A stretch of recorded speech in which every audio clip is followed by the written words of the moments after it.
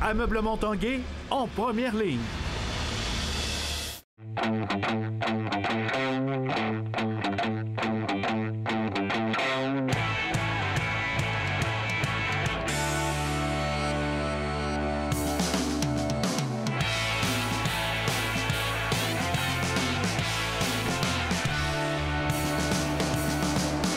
Bon mardi tout le monde, bienvenue à l'Esprit sportif. Dans l'émission aujourd'hui, on parle boxe.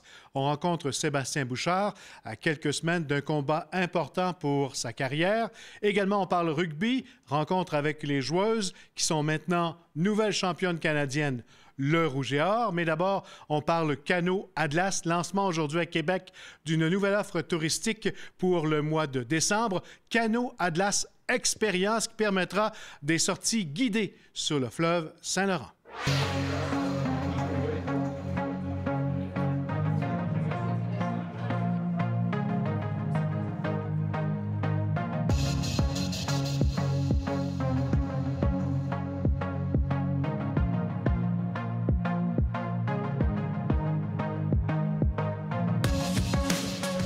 On parle Cano Atlas aujourd'hui. Cano Atlas Expérience. Euh, en quelques mots, qu'est-ce que c'est? Canoë à glace Expérience, ben, c'est mon nouveau bébé. C'est le projet d'entreprise pour offrir euh, essentiellement des sorties guidées en canot à glace à Québec l'hiver. Dans toutes mes années où j'ai été canotier sur le, le circuit, on nous demandait toujours est-ce qu'on peut sortir en canot à glace, comment on fait? Euh, depuis un an, je sonde le terrain. Je travaille en collaboration avec l'Office du tourisme, avec les gens de l'industrie hôtelière de Québec pour valider ce besoin-là. On me dit oui, on a un besoin. Moi, je suis confiant de, notre produit. On est une expérience unique au monde. Le canot glace, ça se fait nulle part ailleurs dans le monde. Notre produit vedette, c'est le baptême des glaces une activité vraiment centrée sur l'initiation et la découverte du canot à glace. On s'adresse à un grand public, des gens qui sont simplement actifs, qui ont envie d'essayer l'activité. Donc, on les prend en charge du début à la fin. On leur fournit l'équipement spécialisé. Euh, notre baptême des glaces est une activité sur une demi-journée, donc 3 à 3,5 heures, durant lesquelles on va être environ une heure, une heure et demie sur l'eau, selon la capacité des clients, selon leur envie. Euh, une activité où euh, le moment wow, c'est peut-être euh, à la mi-parcours où on s'arrête sur une glace, on prend des photos, on boit notre chocolat chaud, on prend temps de mesurer la, beauté de l'environnement dans lequel on se trouve. Une activité aussi qui va être offerte deux fois par jour durant la période d'opération, donc entre le 21 décembre et la fin mars, une sortie le matin, une sortie l'après-midi. Et une sortie, je vous dirais, qui se mêle bien avec notre deuxième expérience, qui est le, forfait canoë à glace et Strom Spa Nordique Vieux-Québec. C'est simple. Après le canot à glace, on a envie de quoi? On a envie de chaleur, on a envie de réconfort. Donc, on propose à nos clients de se diriger vers les installations du Strom Spa. On a des bains chauds sur place, des saunas, des chutes thermales.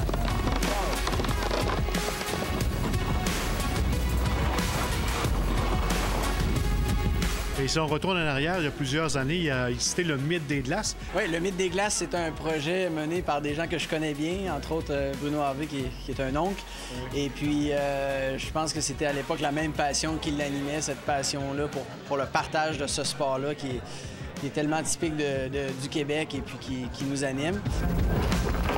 Au début des années 90, euh, le Mythe des glaces avait le même programme d'activité. Il y avait des touristes, beaucoup de touristes et euh, des gens du Québec aussi qui euh, connaissaient pas l'activité. En fait, la connaissaient, mais sans savoir ce que c'était. Et qui l'ont essayé. Puis, par expérience, j'y étais à l'époque comme guide assez souvent. Et les commentaires étaient toujours très élogieux. Les, les, gens vivaient l'expérience de leur vie, tout ça en plein cœur de Québec. L'expérience canot à glace, là, je vous dirais, le simple fait de, descendre sur l'eau avec le canot et de vivre ce que c'est que le contact avec les glaces. Les clients ont des crampons aux pieds, donc on les invite à propulser le canot à, la trottinette, donc avec les glaces. On monte sur les glaces. Je vous dirais que le bruit environnant de, l'espèce de crunch des glaces, euh, le fait de passer de l'eau à la glace, tout ça fait partie de l'expérience. Sur Terre, euh, on fait une mini-formation, euh, simulation à la rame, les transitions pour aller à la trotte ensuite. Puis après ça, on peut trotter sur la neige, étant donné que le canot, euh, il est ciré pour limiter l'adhérence. Puis à, ce moment-là, les clients, ils sont en confiance pour pouvoir se déplacer, participer à l'expérience, puis vivre ça à 100 avec, avec leur guide là, pendant la sortie.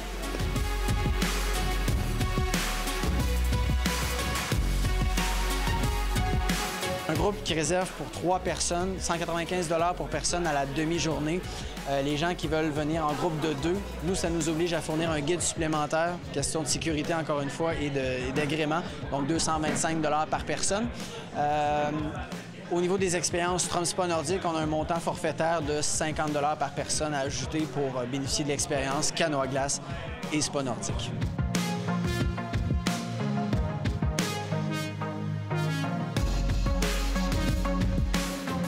Va situé à Lens au Foulon. Donc, c'est le long de la promenade Samuel de Champlain. En fait, c'est la continuité naturelle de la côte Gilmore. Donc, nos opérations, très intéressantes, on est situé directement sur le bord de l'eau, dans une unité mobile chauffée, aménagée pour le canot à glace. Donc, il n'y a pas de casse-tête pour les clients.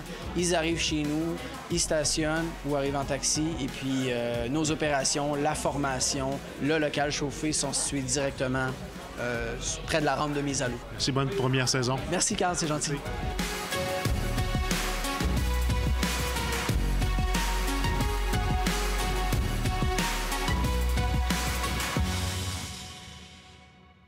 Après la pause, rugby et boxe.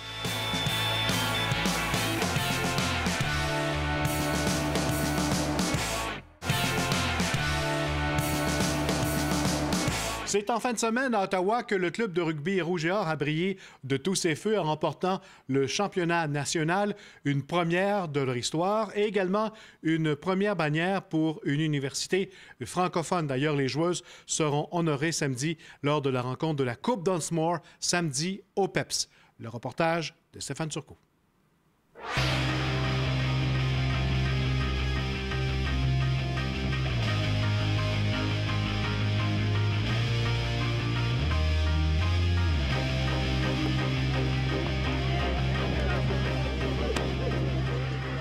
Ball sails out of bounds, and Laval Rouge are your national gold medalists, and they have won in deserved fashion. Excellent effort by Laval.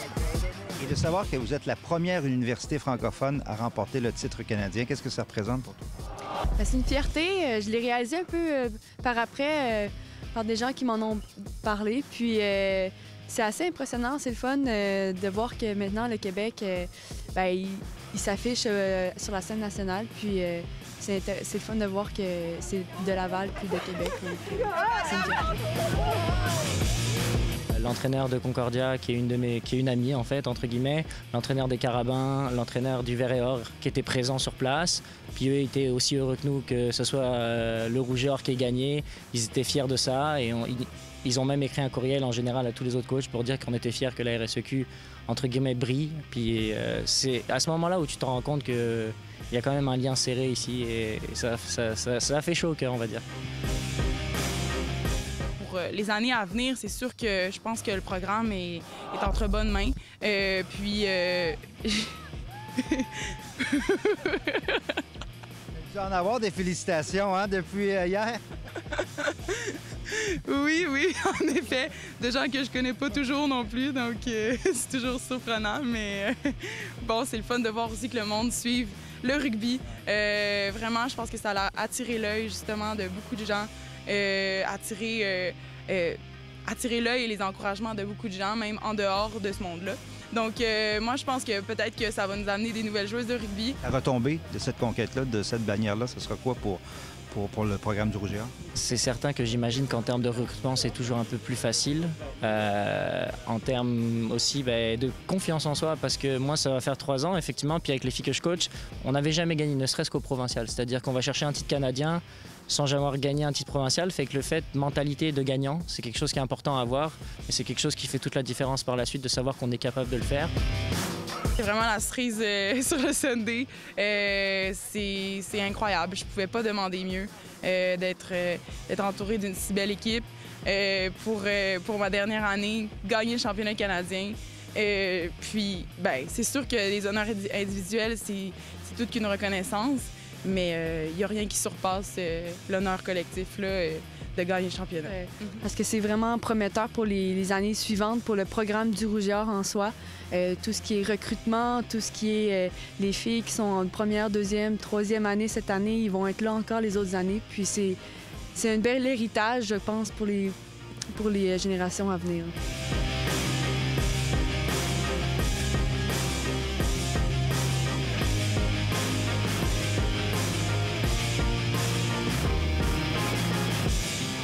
C'est le 23 novembre prochain au Centre Vidéotron, lors du gala mettant en vedette Marie-Ève Dicker, que le boxeur québécois Sébastien Bouchard disputera son prochain combat, un combat très important pour sa carrière. Tantôt souriant, tantôt sérieux et tantôt concentré. Sébastien Bouchard ne cache pas ses émotions. Il y a beaucoup de choses qui sont en jeu, euh, ce combat-là. Puis c'est plus ça qui me, qui me rend un peu nerveux. Nerveux parce que pour la première fois de sa carrière, il se battra pour une ceinture, pour une place parmi les 15 meilleurs au monde chez les 147 livres. La boxe, c'est un sport d'opportunité. Maintenant, la- la- le 23 novembre pour Sébastien Bouchard, c'est la plus grande opportunité. Sébastien Bouchard se battra contre le Montréalais Ayaz Hussein. Un redoutable cogneur, mais qui n'a pas boxé depuis plus de deux ans. C'était un gros combat. C'est le gars, il a été champion canadien euh, euh, amateur. Je sais que c'est un, un gars qui cogne dur des deux mains. Il y a une façon de frapper aussi qui est dangereuse, souvent avec l'intérieur des mains. C'est pour ça que c'est redoutable. Mais les deux ont été forcés à, à, à pas boxer. Euh, on va voir lequel va chasser la rouille plus rapidement. Si à 32 ans, Sébastien Bouchard réussit à mettre la main sur cette ceinture IBF nord-américaine des 147 livres, son promoteur Yvon Michel lui promet des bourses alléchantes. Au lieu de recevoir une offre de 50 000 euh, US pour un, un combat sur Showtime, mais peut-être que ça va être 10 fois ce montant-là que- qu'il va avoir comme offre éventuellement. Oui, parce que là, on se bat contre le temps. Donné, je vieillis aussi. Fait que, il faut se placer euh, dans les rangs mondiaux. Puis, euh, je pense que le 23, ben, on va être 15e au monde. Effectivement, Sébastien Bouchard sera sous les projecteurs parce que ce combat, il le fera après plusieurs mois d'absence. Il le fera pour une ceinture. Il le fera pour être classé parmi les 15 meilleurs au monde. Mais il le fera également dans le contexte où la majorité de ses contrats de commandite et avec son promoteur viennent aussi à échéance. Stéphane Turcot, TVA Sport, à Québec. Voilà, c'était l'esprit sportif pour aujourd'hui. Revenez-nous demain, même heure. Bye tout le monde.